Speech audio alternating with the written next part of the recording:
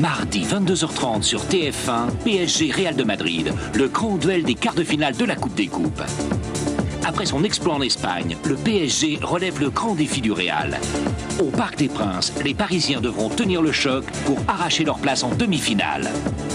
Le foot sur TF1 avec les magasins Leroy Merlin, une équipe pour réussir. Coupe d'Europe de football, PSG Real de Madrid, mardi 22h30 sur TF1.